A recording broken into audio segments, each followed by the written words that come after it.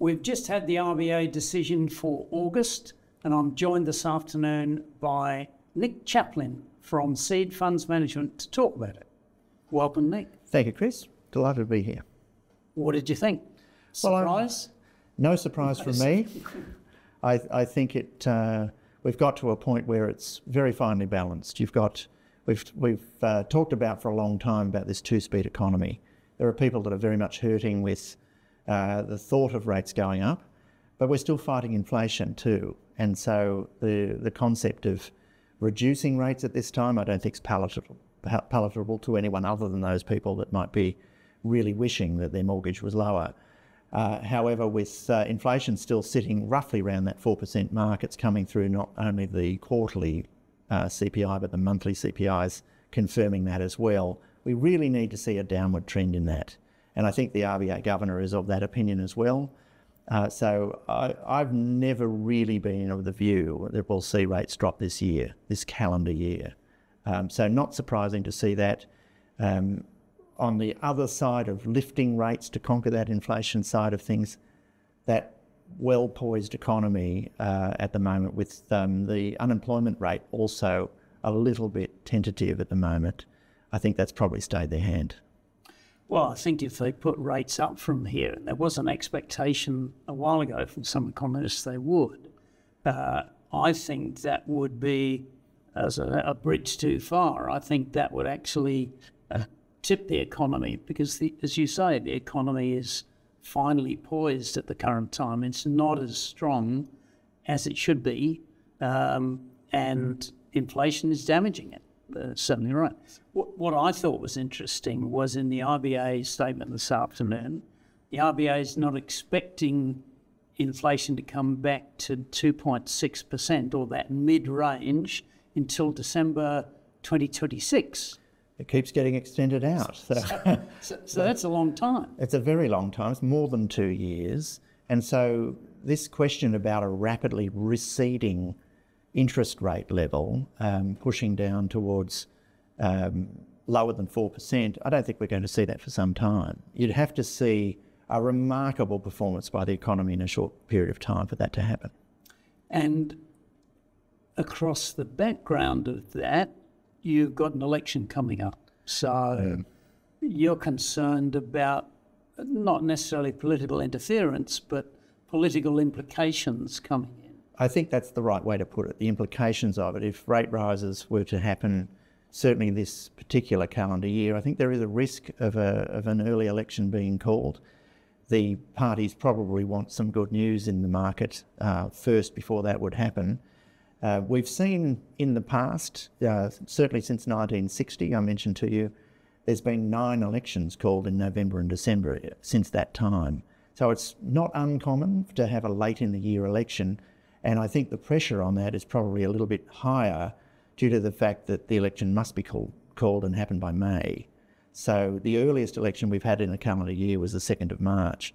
So there is some pressure there, um, treading lightly, but the RBA must act when they have to act. There can be no real interference there. Let's just move now to the volatility in the markets. And this has really come from the US, obviously. Same sort of concerns. You know, Powell was saying that there'd been a, a rate reduction really expected in September. Uh, employment numbers came out, other numbers came out that said perhaps he's waited too long before it's cutting. And that's pricked the bubble, as it were, of equity markets.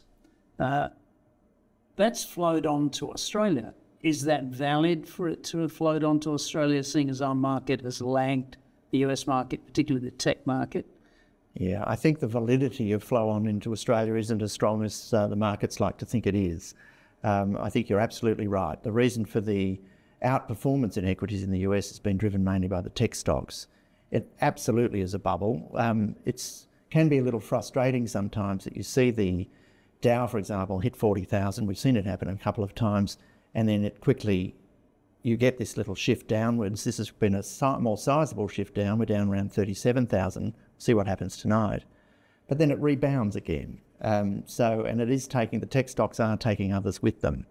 So uh, I think you will see some rate movement in the US now downwards.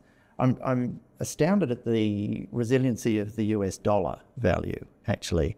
Um, it's versus Australia at least. We're hovering around that 65 mark. There hasn't been a lot of reaction to the potential for US rates to drop, which would normally drive a higher uh, Australian dollar.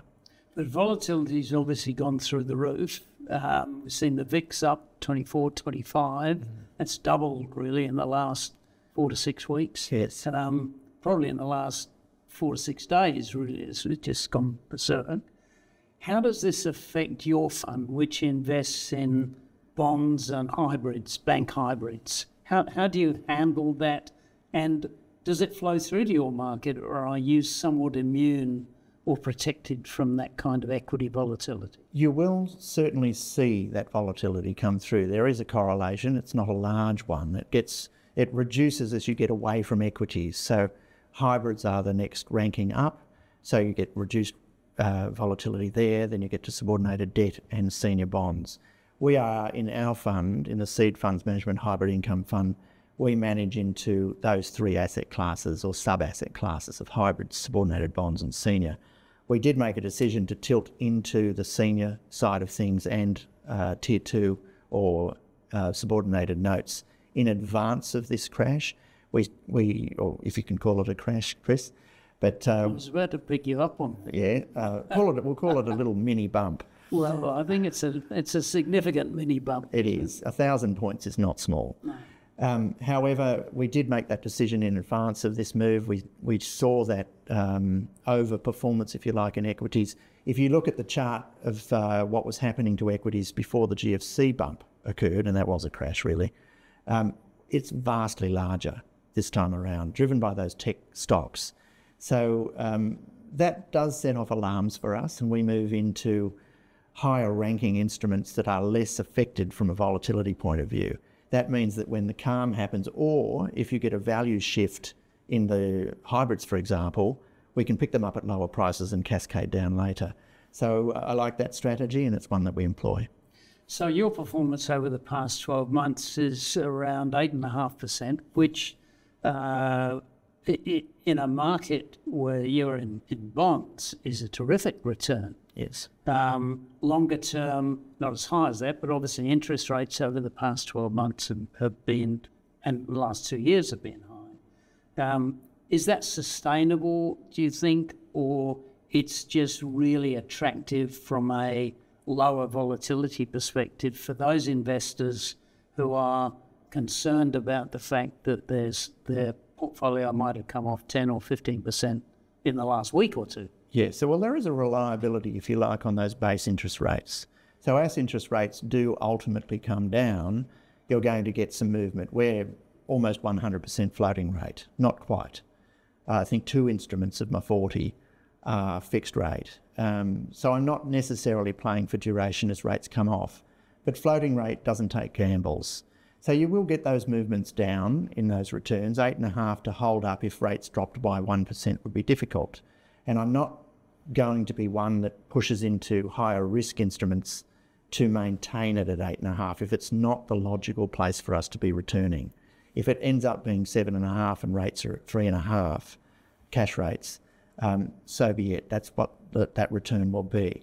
But I think we are in for a quite a time where fixed income remains attractive for people as an alternative. And you made a very good point about volatility. It's lower volatility than the equities market.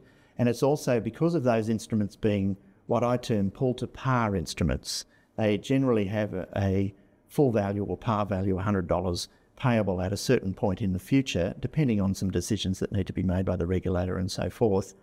Whereas equities, you can't predict the future of those values and they can take years to happen. That predictability helps us to actively manage the portfolio to achieve those higher yields.